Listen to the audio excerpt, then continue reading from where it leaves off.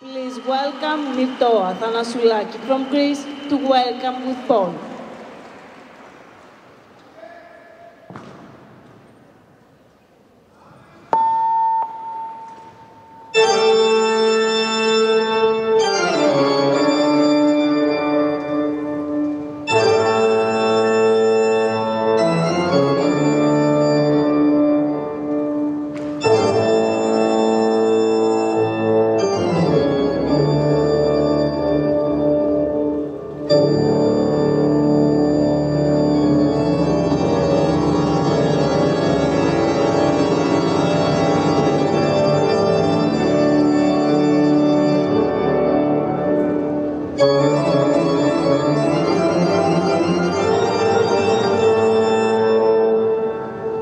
Thank you.